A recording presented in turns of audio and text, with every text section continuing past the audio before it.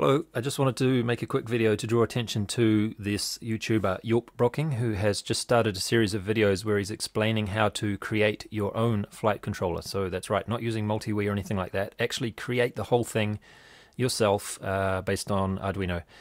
So I discovered this guy last year when I noticed uh, this video was the first one of his that I saw and I was very impressed that the uh, performance of the altitude hold algorithm that he's created. So of course he's done that as well.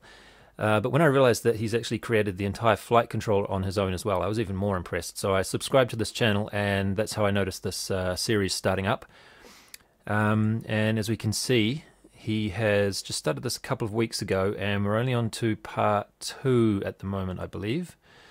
But if you follow along with this, it looks like he's going to go through the entire set of details that you need to know. For example, um, in part two, we're looking at how you can handle receiver inputs and you know do interrupts and all this all of the details you'll need to know um, for getting your own flight controller up and running and I was very very interested to see this and I think a lot of people who have been subscribing to my channel in the last few months would be quite interested in this as well.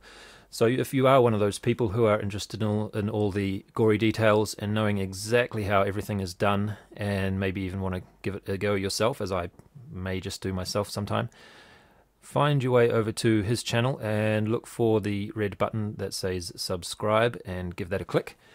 And that will let you see all of the other parts in this series as they come out.